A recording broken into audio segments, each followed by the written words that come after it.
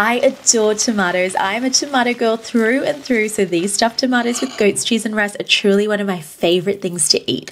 Cut the tops off the tomato and scoop out the flesh. Add the tomato flesh, parsley, dried oregano, chili flakes, olive oil, salt, pepper, garlic cloves, and diced onion, which I forgot to record, to a food processor and blend.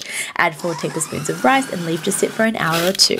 Place the tomatoes into a baking dish and season. Sprinkle a little goat's cheese into the tomato, stuff with the filling, and then finish off with some more goat's cheese.